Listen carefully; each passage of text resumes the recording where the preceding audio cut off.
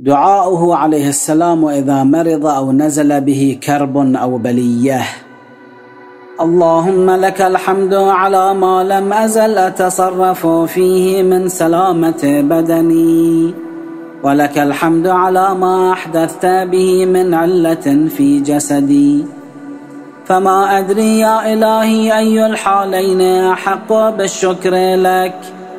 وأي الوقتين أولى بالحمد لك؟ أوقت الصحة التي هنأتني فيها طيبات رزقك؟ ونشدتني بها لابتغاء مرضاتك وفضلك. وقويتني معها على ما وفقتني له من طاعتك.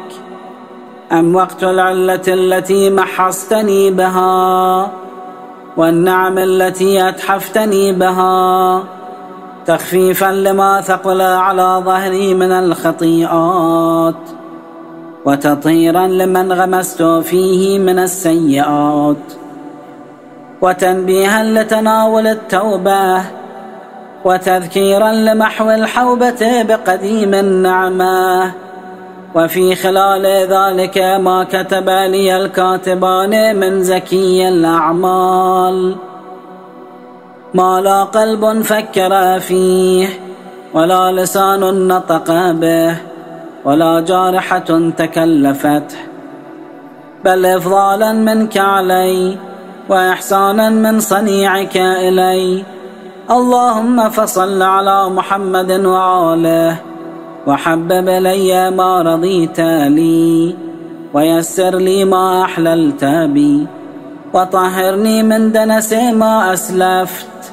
وامحو عني شر ما قدمت وأوجدني حلاوة العافية وأذقني برد السلامة وأجعل مخرجي عن علتي إلى عفوك ومتحولي عن صرعتي إلى تجاوزك وخلاصي من كربي إلى روحك وسلامتي من هذه الشدة إلى فرجك.